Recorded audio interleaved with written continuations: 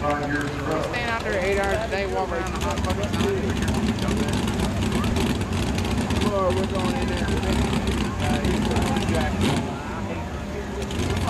If you I don't want know to if do it's in that, a look row, at it, but see I'm what needs to do.